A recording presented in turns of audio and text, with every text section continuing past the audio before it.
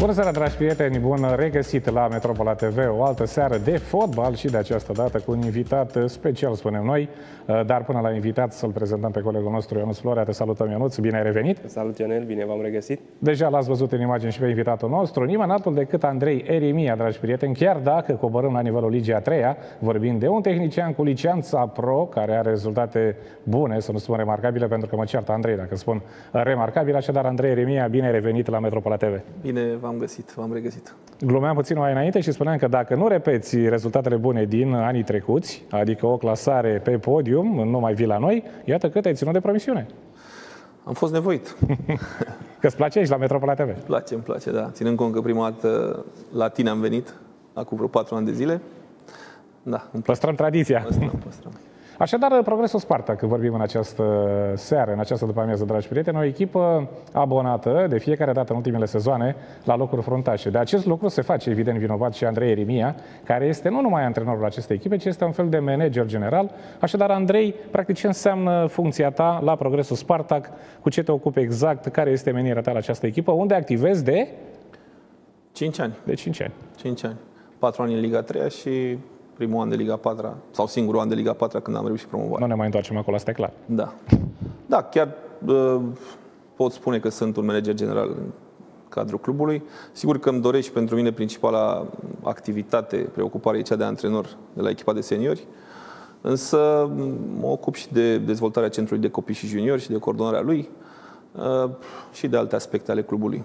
Da, eu nu ți-ai urmărit foarte atent în ce se întâmplă și la Liga a 3 cu precădere la Progresul Spartak, o echipă frumoasă care, iată, din nou a reușit un sezon remarcabil, spun eu, în condiții mai speciale, o să ne mai spună și Andrei despre acest lucru. Locul 3 într-o serie dominată de cele două formații bucureștene, o realizare notabilă, nu? E adevărat și vreau să-l felicit pe invitatul nostru de astăzi pentru ceea ce face la Progresul Spartac uh, și nu doar la prima echipă, ci la tot ceea ce înseamnă Centrul de Copii și Juniori. Uh, Progresul Spartac este și performarea uh, Cupei României, dacă stăm să analizăm puțin, o întâlnire pe care au avut-o împotriva celor de la Craiova și spun eu o ieșire din această competiție cu fruntea sus, au jucat foarte bine, chiar dacă au întâlnit o echipă în formă la momentul respectiv și au acceptat, deși conform modului de a se desfășura partida ar fi trebuit să fie ei echipa gazdă, au acceptat să se deplaseze la Craiova și să joace pe Ion Oblemenco, pornind, să spunem așa, din start cu un ușor dezavantaj. Era obligație nu să facă acest lucru, pentru că ar trebui să găsească un stadion aici în București, dar completându-te, Andrei, și revenim la acel moment din Cupa României, Andrei a plecat cu gândul de a câștiga, de a scoate Craiova din cursă și am văzut că erai foarte supărat în acel moment, uh, că jucătorii tăi, Andrei Eremia, mai mult făceau poze cu frumosul stadion din Craiova, ba și cu adversarii și n-ar mai fi fost atât de montați la ora partidei. Consider că orice meci se poate câștiga, absolut orice meci, chiar dacă evident că diferența valorică între noi și Craiova e una imensă. Uh, însă, într-o anumită conjunctură, lucrurile se pot întâmpla așa cum îți dorești. Primul lucru este să crezi. Bineînțeles, după aia să pregătești în așa fel încât să reușești. Problema mea atunci a fost că jucătorii, e adevărat, foarte tineri, foarte neexperimentați și deja uh, satisfăcuți de ceea ce realizaseră până în momentul de... Până Asta era un bonus, nu prezența la Craiova. Erau puțin mai mult preocupați de alte aspecte și asta într-adevăr m-a deranjat puțin pentru că e o mentalitate care nu...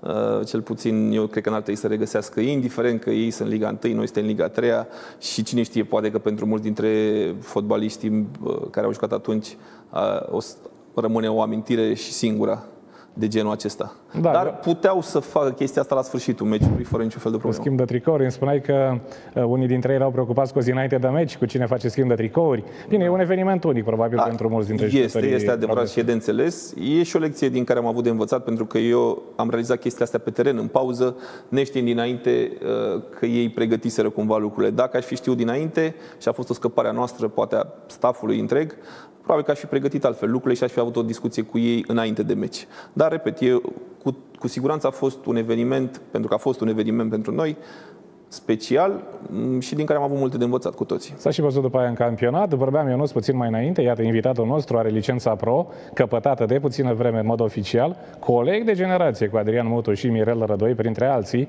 Nu neglijăm pe nimeni din ceilalți colegi. Așadar, și la Liga 3 se poate lucra bine, inclusiv cu antrenori care au licență pro. Da, uh, dacă ar fi să facem o comparație la ceea ce a realizat Andrei acolo, fără a-l lăuda că este invitatul nostru, cred că ar merita mai mult.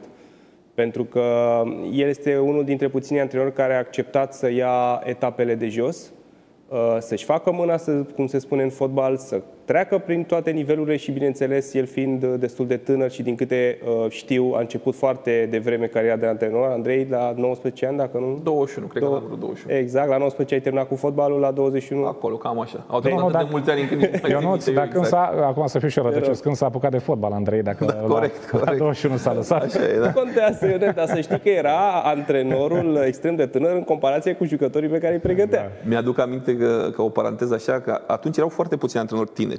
Chiar la Da, copii da. juniori. Eram antrenor la FC Național când încă eram prima ligă. Am apucat vreo 2 ani de zile aproape în Cotroceni. Și mă întâlneam cu antrenori care fusese mie antrenori când eram junior. Da. Da, cum au trecut așa ani. Iată că acum ai ajuns, Andrei, după o experiență destul de frumoasă. Spune Ionuț că ai căpătat așa încredere pe măsură ce anii treceau. Campionate reușite alături de progresul, deși mai mereu perdantă, perdanta de serviciu, din păcate, progresul Spartak, mai mereu pe primul loc care nu asigura fericirea, Andrei. Multă lume a, a rămas cu impresia asta că noi am fi perdanții pentru că am pierdut două promovări în condiții în care Poate că nu ăsta e termenul, dar acolo într-un ai fost. sezon am terminat pe primul loc, uh, mă rog, în sezonul în care pandemia a întrerupt campionatul, iar de două ori am terminat pe locul 3. Însă oamenii, mă rog, sigur că nu știu dacă sunt atât de interesați de amănuntele astea, dar posibilitățile noastre raportat la echipele cu care ne-am luptat de fiecare dată la promovare sunt mult mai reduse. Asta vreau să te Din întreb. toate punctele de vedere. Adică chiar dacă atunci când ajungi atât de aproape de o promovare și nu o reușești, sigur că ai un regret și sigur că poate fi considerat și un eșec, în realitate eu cred că e mai mult un succes decât un eșec. Pentru că noi când am început proiectul ăsta am gândit lucrurile pas cu pas, am știut la ce nivel putem să ne asumăm lucrurile în așa fel încât să fim un alt fel de club față de ce se întâmplă în România de obicei? Și drept dovadă după 5 ani de zile cred că ne-am creat un renume de club serios Cel mai important lucru, de fapt, într-un fotbal tot mai nesigur, la mai toate nivelurile. Da. Însă, repet, bugetul nostru comparativ cu uh, al echipelor cu care ne-am luptat e mult Bun, mai mic. Andrei, până, până te întreabă eu nu ceva. Cât contează acest buget? Pentru că noi vedem acest lucru zi de zi. Se discută la Liga 1, Liga 2, Liga 3. Pe de o parte, bugetul este important, însă el nu asigură, cred eu, automat o clasare bună sau o prestație de calitate. Absolut, pentru că de fiecare dată, în fiecare sezon, cred că am avut cel mai mic buget, nu neapărat din serie, dar dintre echipele fruntașe. Deci cu siguranță că se pot face lucruri dacă știi să gestionezi anumite aspecte uh, mai bine decât alții. Uh, Noi avem și șansa faptului, sau cumva ne-am creat șansa asta, că am dezvoltat un centru de copii și juniori destul de performant și dacă ți-aduce aminte, acum vreo patru ani de zile când am avut prima discuție, îți spuneam că vrem să avem un stadion al nostru și de asemenea vrem să avem un centru de copii juniori pe care să-l dezvoltăm.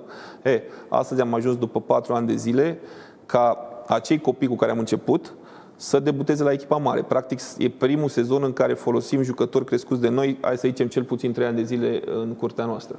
Și am avut șapte jucători sezonul ăsta de 16 ani, care nu mai că au debutat la echipa mare, au și înscris la echipa mare, au meciuri constante, uh, au meciuri constant în uh, primul 11 și O mare realizare, de fapt, cea e mai o importantă, satisfacție cred. și e un obiectiv pe care l-am propus acum ceva timp și l-am realizat.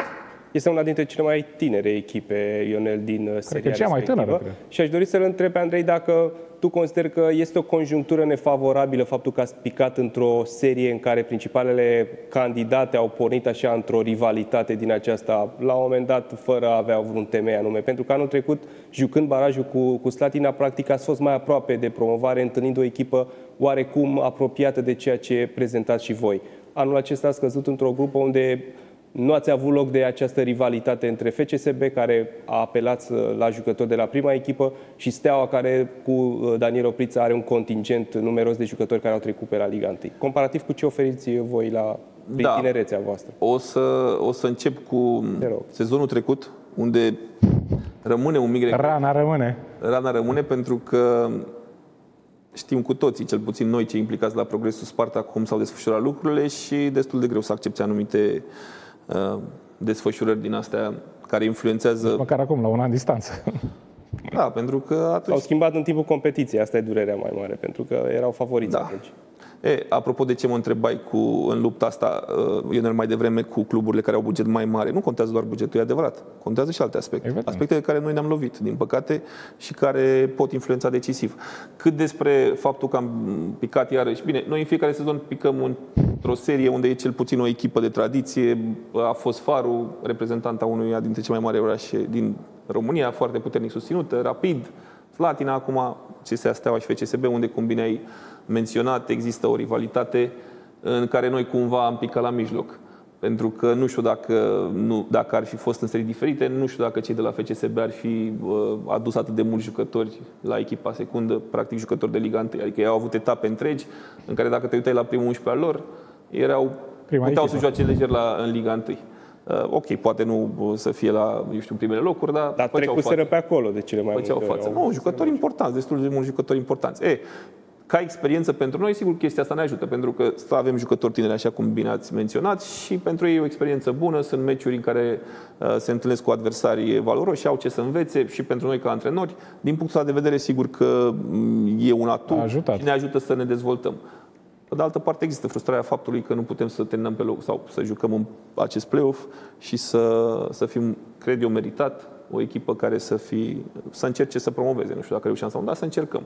Adică cu siguranță și punctajul pe care îl avem în E peste multe echipe care au câștigat seriile Exact, respective. dar- Dar eu mă gândesc, Andrei, că poate asta, această rivalitate între cele două echipe puternice, din toate punctele de vedere, va ajuta și pe voi ceilalți. Ați încercat să țineți pasul și chiar ați reușit, nu? Împingând de foarte multe ori evoluțiile până la nivelul maxim. Iată că ai donat destul de multe puncte peste multe formații care au câștigat uh, seriile respective. Da, e adevărat. Se creează o emulație, se creează o rivalitate. Jucătorii și antrenorii, toată lumea vrea să uh, Câștige cu să celălalt mai câștige puternic. și să arate că sunt valoroși. Într-adevăr, e, e o chestie benefică până la urmă, din punct de vedere sportiv.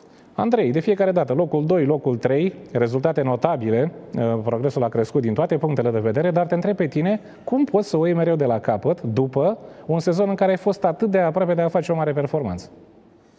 Eu personal, Da, Ei, Cred că lucrurile sunt mai simple. În primul rând îmi place ce fac, îmi place să antrenez. Uh, Sigur că îmi doresc să antrenez la un nivel cât mai ridicat. Dar pentru mine e important să pot să găsesc cadru și mediu unde să, să antrenez. Te exprimi. Să mă exprim, să mă exprim, foarte corect spus, să mă exprim.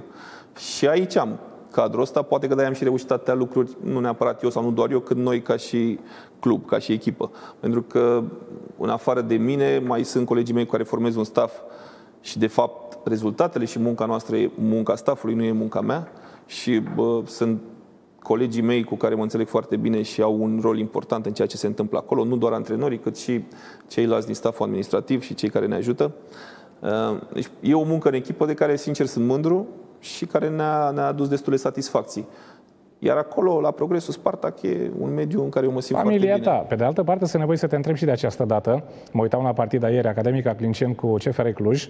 Evident că vorbim de o echipă puternică din toate punctele de vedere, cea vizitatoare, CFR-ul, și mă uitam printre alții la staful lui Edi Iordănescu, Alexandru Radu, secundul lui obișnuit, Virgil Andronache, cooptat acum și el la CFR Cluj, Costin Corelea, un alt antrenor secund, un staff foarte, foarte numeros. Și te întreb, Andrei, dacă îți vine o astfel de oportunitate, probabil că o vei cântări foarte bine, ar fi pentru tine un pas înainte în carieră să lucrezi la un nivel de Liga 1, chiar ca și asistent într-o primă fază, nu? Da, ar putea fi un pas înainte, sigur. Așa cum, cum ai spus, depinde de proiectul de acolo și de oferta pe care o primesc. Da. Îți completez dacă îmi dai voie. Îmi spunea Alin Pânzaru, prietenul nostru de la Arad, zicea Ionele, eu să promovez cu o echipă în Liga 1, pentru mine pare un vis uh, greu de realizat. El lucrase la Brăila, la Alexandria, la echipe mai mici, este adevărat. Și atunci când a venit oportunitatea de la Giusi Balint, nu a stat pe gânduri, având și licența pro și zice, merg la Arad, lucrez la Liga 1 ca antrenor, mă desăvârșesc și eu, pentru că, repet, ca antrenor, cu o echipă mică pe care o pregătesc eu, greu de crezut că o să ajung în Liga 1. O opțiune bună, zic eu, pentru Alin Pânzaru la Da. acel moment. Bine, mă gândeam așa, de exemplu, la antrenorii din Germania, Nagelsmann, antrenorul de la Dortmund și alții care ajung să fie Dar până principal atunci, Andrei și Ionuț, trebuie să vă întreb puțin, pentru că astăzi este o zi memorabilă pentru fotbalul românesc și nu aveam cum să nu vorbim cu cineva din marea generație a Stelei. Ne oprim la domnul Marin Radu 2. Bună seara, domnule profesor! Bună seara, domnule Marin Radu 2. Bună seara! O zi specială, domnule Marin Radu 2, care ne aduce aminte nouă tuturor celor care urmărim fotbalul românesc de un eveniment remarcabil. Cum o petreceți dumneavoastră? Știu că ați fost deja la muncă. Deja este o zi de sărbătoare pentru fotbal în general. 7, 7 mai. Noi o petrecem uh, ca întotdeauna. Suntem la antrenament, am fost la antrenament de fapt cu copiii. Ne facem uh, ceea ce am învățat de, de, de mai de mici. Oricum, emoțiile cred că sunt și acum la ele acasă, domnule Marin Radu 2, de fiecare dată când vine această zi. Nu vă mai vedeți, probabil, cum se făceau acele evenimente în alte dăți, dar dumneavoastră, nu? Țineți legătura cu ceilalți colegi care da, au fost Da, acolo. în general ținem legătura, sigur. Și doar... doar... a fost unită și pe teren și în afara terenului, așa că relațiile noastre au rămas aceleași. Da, dar parcă era mai frumos, nu? Așa cum se întâmpla în anii trecuți, ca acest eveniment să fie marcat într-o altă manieră. Probabil că acum nu s-a mai putut și în condițiile pe care le traversăm cu toții. Da, sigur, sigur. Trebuie să înțelegem și această situație. Ce vă mai amintiți așa inedit, domnule Marin Radodoi, de la acea seară memorabilă în care dumneavoastră ați pătruns pe teren spre finalul partidei? Da. Păi, sigur, amintirile rămân vii. Pentru că acea performanță este foarte greu de, de, de realizat. Steaua a reușit atunci. A fost un lucru deosebit pentru noi, pentru fotbalul românesc. A rămas și acum foarte important acel moment. Ne amintim cu drag, cu plăcere. Sigur, memorăm fiecare moment. Păcat că anii au trecut atât de repede, nu mai suntem tineri, dar amintirile rămân vii. Da, pare greu de crezut, domnule Marin Radu 2, că în perioada imediat următoare, și asta înseamnă câțiva ani buni, vreo echipă românească să se mai poată apropia măcar de o asemenea performanță majoră în fotbalul european. Da, este greu, greu, foarte greu în ziua de astăzi. Dar nu uitați totuși că Steaua a mai avut încă o semifinală și încă o finală de Cupa Campionilor Europeni. Păreau alte vremuri da. atunci? Da, da. Steaua a ținut prin planul fotbalului european câțiva ani de zile buni. Da, acum dumneavoastră, domnule Marin Radu 2, lucrați la echipa de juniorii de la CSM Ioveni și vă întreb în această calitate, mai găsim tineri jucători care pot fi șlefuiți corespunzător în drumul către performanță? Avem materie primă de unde să scoatem viitorii jucători de calitate pentru echipele noastre de club și echipa națională? Să știți că din ce în ce este mai greu. Copiii nu mai vin cu același drag cum făceam noi odată, nu mai au acea plăcere de a juca fotbal, alte lucruri au devenit mai importante pentru ei. Mai a avut și ghinionul ăsta cu pandemia asta, au pierdut cel puțin un an jumate din, știu, din copilărie. Este greu, este greu. Dar știu cu muncă sunt și tineri foarte talentați, sunt și copii foarte talentați, foarte buni, care trebuie instruiți, trebuie educați din punct de vedere sportiv. Dar să găsesc, v-am spus, din ce în ce mai greu. Pe de altă parte, domnule Marin Radu 2, la acest sector juvenil, condițiile de care beneficiați vă permit să vă desfășurați munca cât de cât așa normalitate? Să știți că la, la, la, la noi, la Mioveni, sunt condiții foarte bune de, de creștere de copii și juniori. Cel puțin și la nivelul diviziei B sunt condiții bune. De-aia sunt și rezultate. Dar în alte părți e mai greu. Nu toți au condițiile necesare pentru știu, activitatea asta de copii și, și juniori. Deci trebuie să, foarte multe lucruri. Copiii trebuie să aibă unde să antreneze, trebuie să aibă teren de antrenament, știu, echipament, minci, toate celelalte. Alături de alți câțiva oameni remarcabili care au contribuit la cea mare performanță, dumneavoastră, domnule Marin Radu 2, ați rămas așa în iarbă, nu? Să antrenați, să pregătiți schimbul de mâine al fotbalului românesc. N-am înțeles că sunt în, am oprit în trafic și e cam gomot. Nu, nu, spuneam că dumneavoastră, ca și alți oameni remarcabili din acea seară de 7 mai, ați rămas în iarbă, cum spunem noi la fotbal, să lucrați da. pentru a pregăti schimbul de mâine al fotbalului românesc. Exact, exact. Atu... O fac, o fac cu drag, cu plăcere, asta am făcut toată viața. Sigur, nu să uită ceea ce ai făcut, mai ales dacă faci cu drag și cu, cu, cu plăcere. Da, noi ne bucurăm cu toții de această zi remarcabilă, însă nu putem să nu uităm, nu, domnule Marin Radodoi, că, din păcate, o parte din actorii acelui memorabil eveniment au părăsit această lume și în aceste ore frumoase, nu ne gândim și la cei care nu mai sunt. Aici este marea durere și marea noastră supărare că unii dintre noi nu mai sunt. Au plecat prea devreme, au plecat supărați, au plecat așa nemulțumiți Păcat că au plecat atât de, de, de, de, de vreme, atât de tineri. Mai aveau multe de spus, mai aveau multe de făcut. Noi vom păstra în amintirea noastră toată viața și vor fi acolo la loc de cinste în sufletul nostru. Și o ultimă întrebare, domnule Marie Radu 2, după ce ați terminat treaba la antrenamentul copiilor de la CSMFM, probabil că veți savura și într-un alt mod această seară specială de 7 mai. Da, o să mai vorbesc cu, cu colegii, ne, ne urăm cele bune, cum se spune. Pandemia asta ne ține mai mult prin casă, așa că o să ne vedem, ne poate prin luna iunie, cred, am auzit, să vedem ne reuniuni iar și din nou, pardon, și o să povestim mai multe. Probabil că o să fiți prezenți acolo. Așteptăm să vă vedem acolo, domnule Marie la Dodoi. Cel puțin deocamdată mulțumim foarte mult pentru prezența la Metropola TV. O plăcere vă să vă auzim din nou. plăcută. Salut pe toți cei din studio. Da, mulțumim foarte mult. Marin Radu 2, Andrei, un atacant de temut în acea perioadă, un om care marca foarte des și din acest punct de vedere, în zilele pe care le traversăm, nu prea mai vedem la echipele noastre, fie că vorbim de Liga 1, Liga 2, Liga 3, marcatori așa născuți. Mai greu de găsit oamenii care să aducă golul. Da. Da, așa e, ai dreptate. Din păcate nu prea avem atacanți de clasă. Am văzut că la Progresul Spartak te bucurai că Mihai Ion are câte reușite? Șase. Șase reușite și este colgetrul echipei, Ionuț, cu șase reușite la Liga a treia. Bine, ce arată asta totuși? Că echipa marchează cu toate liniile, un joc bine pus la punct, omogen și apar la finalizare și alți oameni, nu? Uite, chiar voiam să-l întreb pe invitatul nostru, pe Andrei. La un moment dat uh, citeam o declarație a lui Philip Lam, fostul internațional german, care spunea că îți poți da seama de echipa pe care o antrenează Pep Guardiola chiar uitându-te la un televizor alb-negru. Vreau să te întreb, Andrei, ce fel de antrenor ești tu, bazat pe posesie? Știi că li se pune eticheta antrenorilor. Unul e defensiv, unul e ofensiv, unul preferă posesia, unul pleacă de la nivelul fundașilor central cu construcția. Care e filozofia ta de joc? Chiar dacă vorbim, e adevărat, în momentul de față doar de Liga 3, dar practic și acolo lucrurile trebuie să se așeze într-o manieră. Da, eu cred că un antrenor trebuie să aibă niște idei după care lucrează, niște principii, indiferent că vorbim despre copii și juniori, Liga 3 sau Champions League. Uh, așa cum ai spus despre Pep Guardiola. Îmi place să cred că sunt un, și vreau să fiu un antrenor echilibrat, care pune accent mult pe partea ofensivă uh, și pe capacitatea jucătorilor de a găsi soluțiile potrivite în așa fel încât să ajungem cât mai repede, cât mai des și cât mai periculos la poartă. Pare simplă strategia. Conform cifrelor, pare un antrenor ofensiv, pentru că ai al treilea cel mai bun atac dacă stăm să eliminăm cele două formații despre care am tot discutat mai devreme și a treia cea mai bună defensivă. Deci pare că echilibru, așa cum spui tu, în jocul echipei tale este la el acasă. Și marchezi, dar e și goluri greu.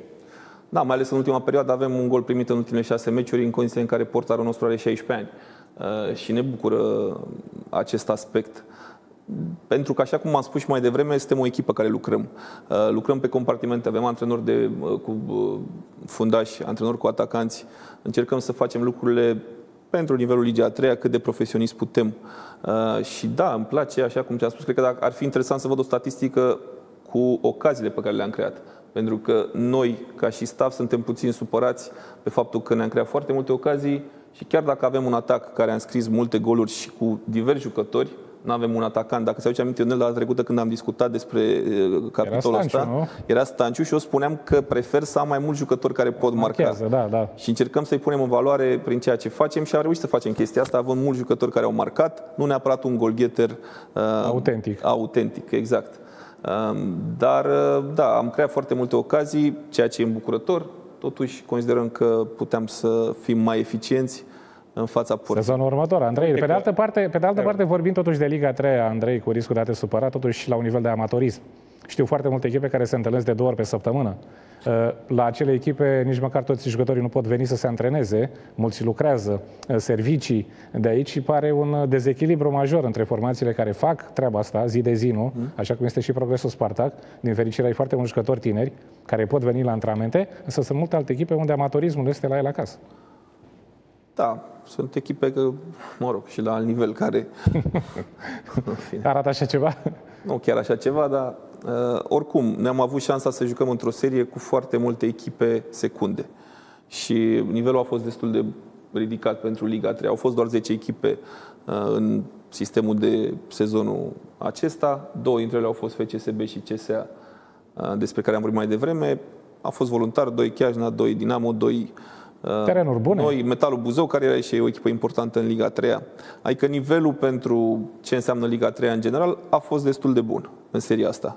Aici, din fericire, da, dar uite, te mai de portară tot de 16 ani, asupra căruia sunt deja țintite câteva priviri interesante. Uh, cred că știi poate la fel de bine ca și mine acest lucru. Sunt deja oameni care se uită către acest portar. Scuză-mă scurt, scurt, avem mai mulți jucători talentați. Eu spun de portar, că portarul totuși e un post mai pretențios, mai greu Adevărat. să găsești jucători tineri, care deja să apere la 16 ani titular în partea unei echipe de Liga 3 dar facem o comparație uh, legat de ce spuneam mai devreme. Uh, punctam la recolta Gheorghe Doja, dacă nu greșesc, unde întrebam pe cineva de acolo, domnule, dumneata ești antrenorul? Nu, domnule, eu sunt de toate. Antrenor, magazioner, șofer, de toate. Mm. Și îmi povestea că portarul are 45 de ani. Dar era foarte bun, Andrei. Puncta oamenii de acolo. Portarul dădea siguranță la 45 de ani. Asta spun că depinde de, de mediul în care se desfășoară activitatea. La tine este normal să te axezi pe jucători tineri, crescuți în academie și evident că la un moment dat, 1, 2, 3, 4 dintre ei vor face pasul către fotbalul adevărat. Da, eu cred că la Progresul Spartac e un mediu foarte bun pentru a te dezvolta ca tânăr junior.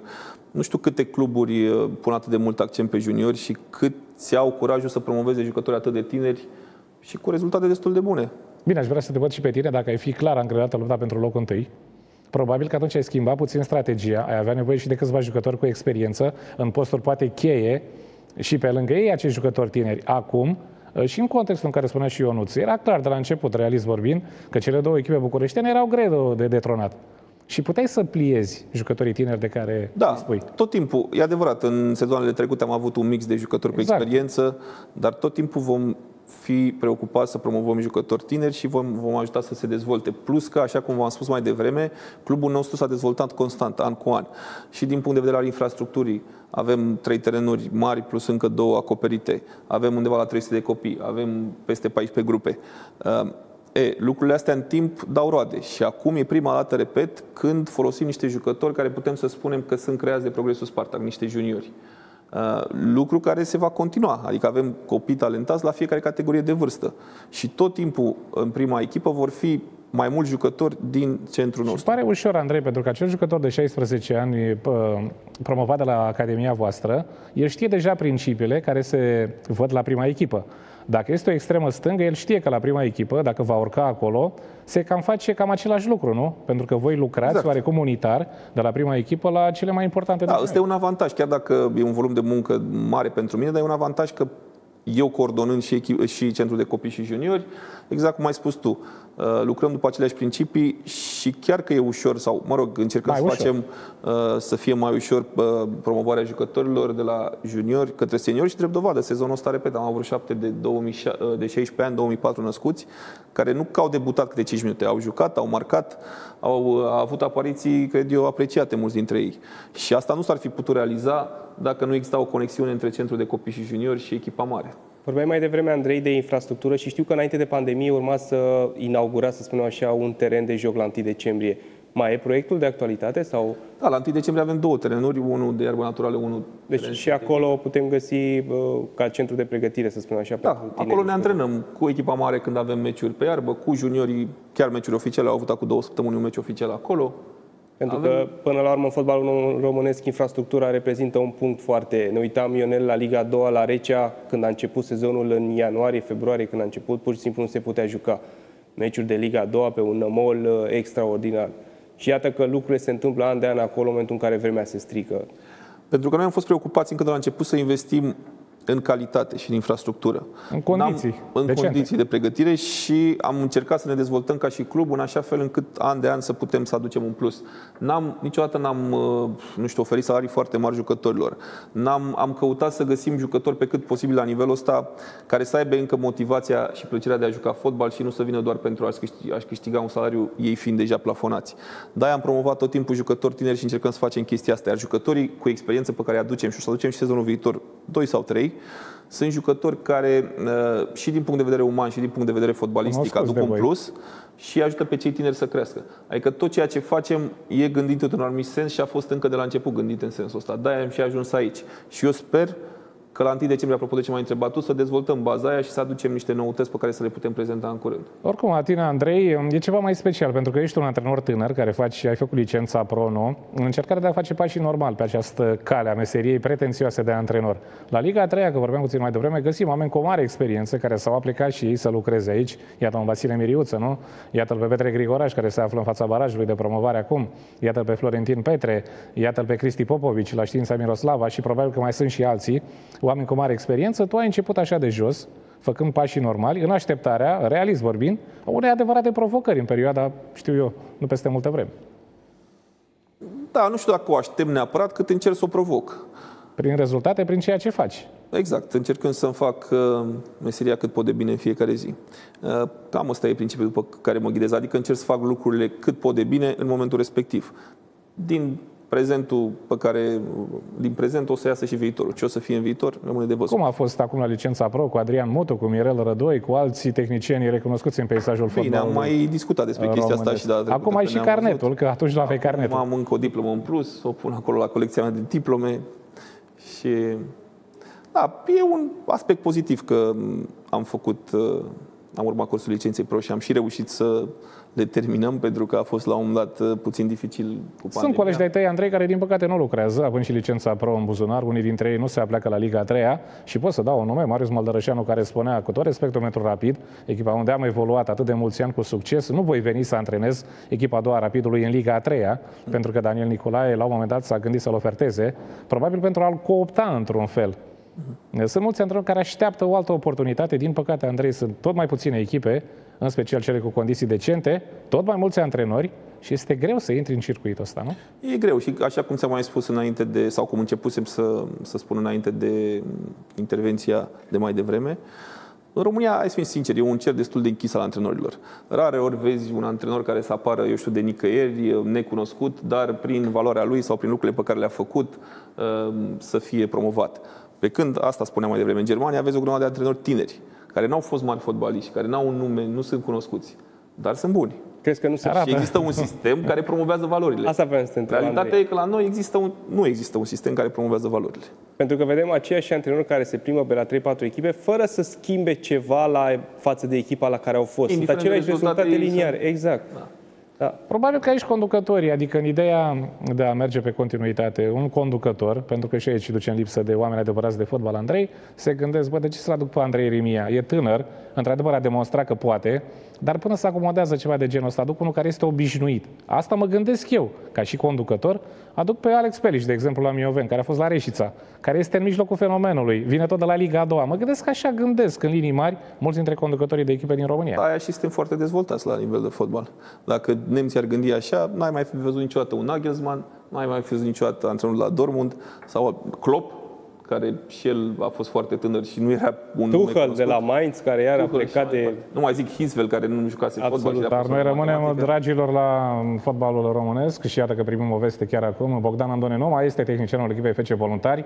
În urmă cu puțină vreme s-a decis uh, acest lucru de către conducerea echipei. Eșecul de la Pitești 0 la 3, care aduce într-o situație absolut delicată FC Voluntari acum cu câteva etape înainte de finalul uh, campionatului a dus la această ruptură. Așteptăm și noi să vedem decizia conducerii clubului în legătură cu cel care îl va înlocui pe Bogdan Andone. Meciul următor bate la ușă, tocmai cu cei de la Chindia Târgoviște, o echipă care a făcut adevărate minuni, aș putea să spun, în play-out, în condițiile în care nu are un teren propriu și evoluează doar la Buzău, doar pe terenul străin. Așadar, informație oficială, confirmată de conducătorii echipei, Bogdan Andone nu mai este, începând de astăzi, antrenorul echipei FC Voluntari. Uh, Asta este viața antrenorului Andrei Rimia. Situația este delicată, nu spune neapărat de voluntari. Când echipa alunecă vertiginos către fondul clasamentului, nimeni nu acceptă o retrogradare și ești pus în postura ca și conducător să pui foarte bine în balanță ce faci în momentul ăsta, renunți la antrenor, renunț la jucători, mai aduci repede pe cineva. E o situație absolut delicată în acest moment. Sunt situații delicate și nu știu niciodată înainte care e soluția potrivită. Uh, cert Dar că... sunt, uh, între, sunt uh, puțin obligat să te întrerup pentru că vom merge la Botoșani acum și avem plăcerea de a dialoga cu domnul Valeriu Eftime. Vă salutăm, bună seara! Bună seara! Puțin mai devreme, domnule Iftime, am primit vestea că Fece Voluntar s-a despărțit de antrenorul Bogdan Andone și noi avem aici în studioul Metropola TV un tânăr tehnician cu o bună cotă în acest moment, Andrei Rimia, cel care pregătește progresul Spartak și comentam împreună că antrenorul, din păcate sau din fericire, este ținut în viață, în special de rezultate. Categoric rezultatele țin un antrenor, cum rezultatele țin un club în viață până la urmă. Uh, numai că nu de fiecare dată cel care ar trebui să plătească de deci antrenorul. În, în fapt, uh, se întâmplă în fotbal nostru și nu numai, dar în general nostru, în care antrenorul, atunci când echipa funcționează și uh, ia cumva toată, își trage asupra lui mare merite, trupa lui cu tare, echipa lui cu tare. Și atunci e clar că la momentul dezastrului el plătește cel mai des. Eu nu sunt deloc pe ideea schimbării antrenorilor. Eu cred că antrenorul trebuie ajutat și trebuie ajutat să-și pondereze energia și reacțiile în timpul mandatului. Adică să-i estompeze un pic euforia, să-l încurajeze atunci când îl doare tare, să-i dozeze energia pe care o dă grupului pe termen lung, e cel mai, cel mai important lucru. Un antrenor pleacă că nu mai are puterea asupra vestiarului. Oricum. Și nu de, fiecare, nu de fiecare dată se întâmplă asta când îl schimbă. Îl schimbă că patronul e nervos, îl schimbă că patronul vrea mai mult sau suporterii care știu totul și în fapt, în afară de faptul că au comentarii, nu pot să spui că știu situația din club, și asta este viața unor antrenori. Din păcate, eu nu, nu o accept. Oricum, parcă și Marius Croitorul, domnule Iftime, uh, s-a mai liniștit așa puțin. Era mai exuberant în urmă cu ceva vreme. Acum a mai căpătat experiență și parcă este mai așezat, mai liniștit așa. Da, Marius Croitorul ca antrenor este la under 17 ca fotbalist, adică el încă are o vârstă foarte mică, ca și e foarte tânăr, învață foarte mult și pe lângă faptul că știe fotbal și încearcă să aplice fotbal cu echipa lui, are nevoie și tipul ăsta de comportament care se învață.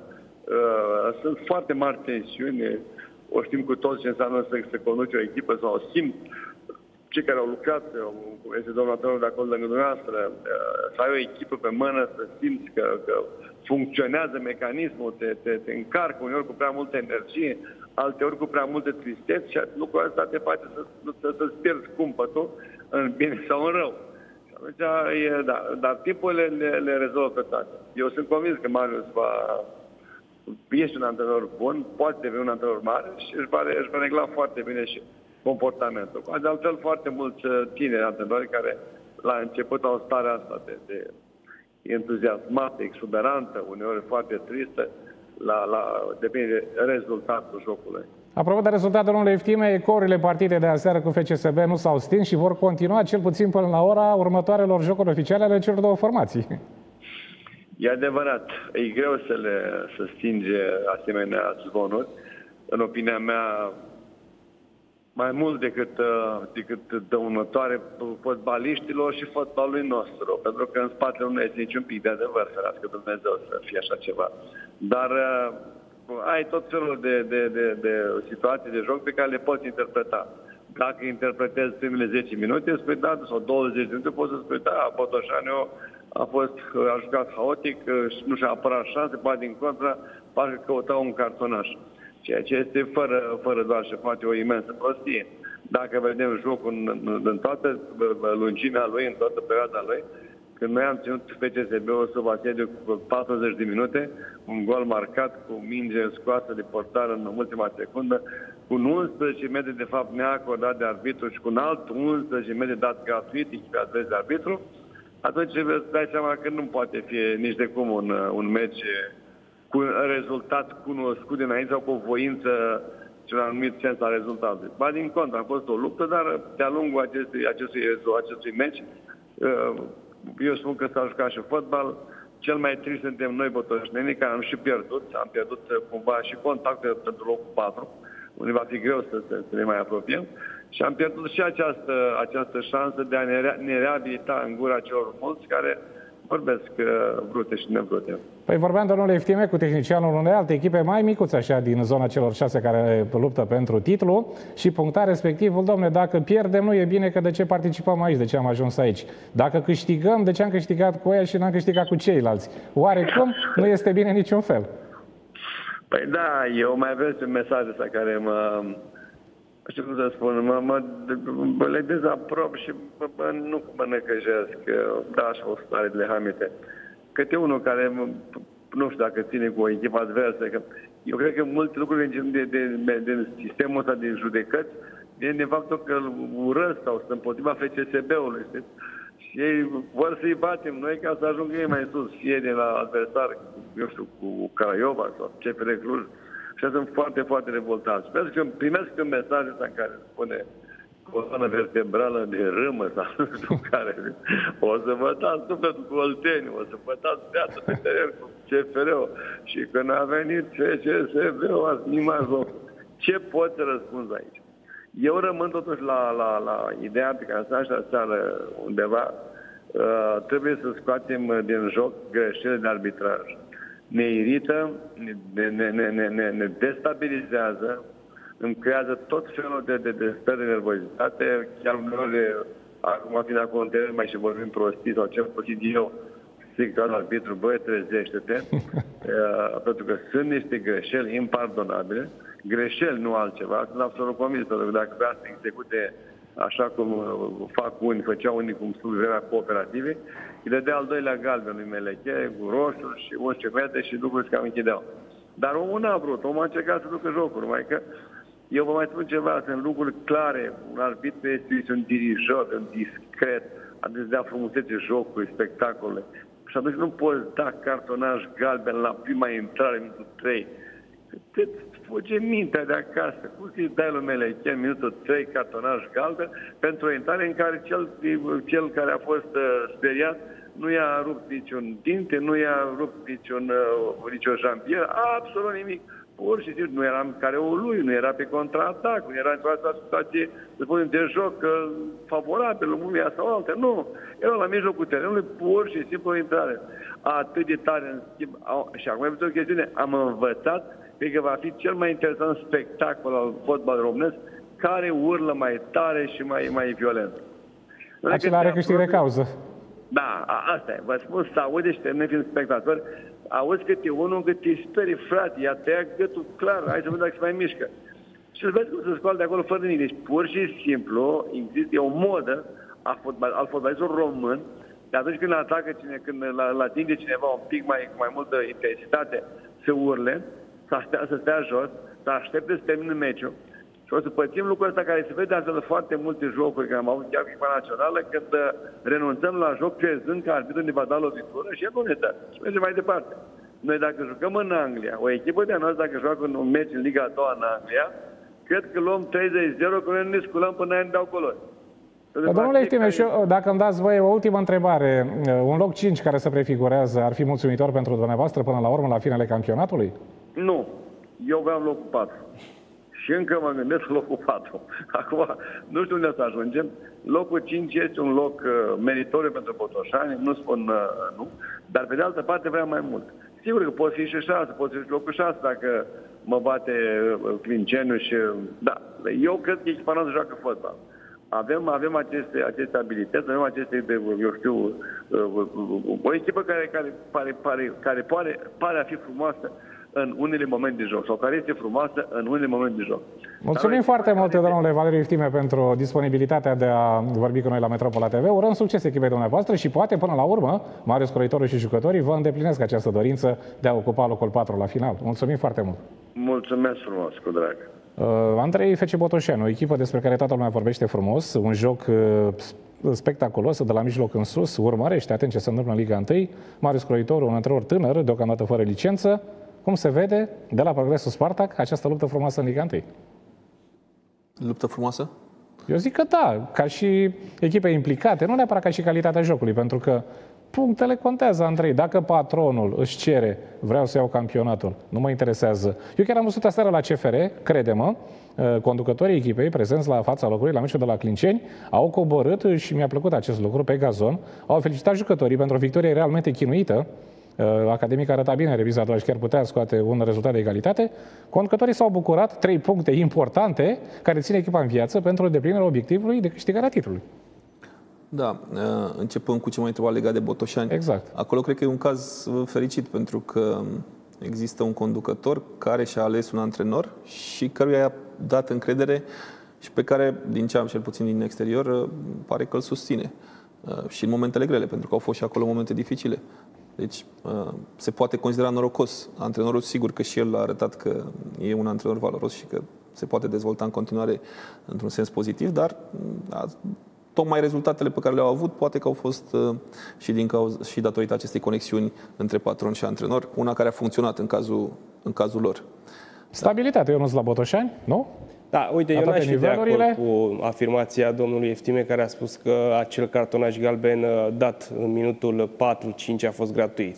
Potoșani a început foarte uh, În forță. dur, dur meciul, dar nu l-a început ca joc, l-a început ca intrări asupra jucătorilor așa. FCSB. Da? Deci Botoșan, dacă ar fi jucat din minutul 20, din minutul 1, rezultatul poate ar fi fost altul. Ei au început cu durități încă din minutul 3, iar până la galbenul a- arătat de Adrian Cojocaru, pentru că am văzut partida, au fost trei intervenții care La puteau fel. fi foarte ușor uh, sancționate cu cartonaj galben. Deci, domnul Iftime încă se află sub, uh, să spunem așa, uh, la cald la ceea ce s-a Tu ai întâmplat văzut de la aseară. televizor, dumnealui a văzut acolo, de la tribuna oficială și probabil Da, dar că noi s-a am văzut, și, altfel. noi am văzut și, Și reluările, reluările. Ionel, și poate că am văzut mai bine. Uh, Nu cred că din cauza arbitrajului a pierdut Botoșaniul la seară. Este o stabilitate și Marius Croitor a dovedit că, raportându-ne la ceea ce înseamnă licență pro, nu este neapărat necesar să ai uh, carte ca să poți să știi meserie. Dar trebuie A să o înveți. dovedit, trebuie să o înveți și ar trebui ca pe viitor Federația să tragă un semnal de alarmă și să impună, dacă tot ai școală de uh, licență pro, ca antrenorii, cel puțin la Liga 1, cel puțin cei care dau indicații, să dețină această diplomă. Pentru că altfel valoarea școlii va scădea de la an la an. Se vorbea, Andrei, de foarte multă vreme, obligativitatea la Liga a doua, ca echipele care participă în acest campionat să aibă doar antrenor cu licență pro, s-a amânat de la un sezon la altul, încă nu cred că este de actualitate la Liga a doua. Dar nu e nici la Liga 1 de actualitate. La Liga 1, da, sunt aceste colaborări cu oamenii care au carnetul nou, că vorbeam, vorbeam uh, de Marius Croitoru, este Mihai Ciobanu acolo, antrenor cu mare experiență de altfel, dar eu pot să-ți dau exemplu de la Clincin, unde cei doi oameni care colaborează, Ilie Poenaru și Marin Dună, sunt într-o permanentă comunicare, cei doi se ajută foarte, foarte mult, Ilie urmează și el acum uh, cursurile și va deține și el la timpul potrivit licența pro. Sunt colaborări benefice până la urmă, Andrei, spun eu, la echipele care nu au altă variantă în acest moment. Sunt colaborări care dau roade, cred că și la FC Argeș. La FC Argeș, unde E o pare altă o colaborare. situație la fel de, de ciudată, cu doi antrenori oarecum uh, principali, nu prea se știe care... Unul cu licența pro și unul fără. Da, dar ca și implicare, ca și declarație, am văzut că ambii sunt... uh, Da, e adevărat palier. că nu licența, bă, nu știu, te face să fii neapărat un antrenor mai bun sau... Dar, atâta timp cât sunt niște reguli, ar trebui respectate. Uh, și ar trebui să ne dezobișnuim o dată pentru totdeauna să tot fentăm lucrurile uh, pentru că putem și pentru că suntem inventivi. Hai să fim inventivi în alte chestii. Pe gazon?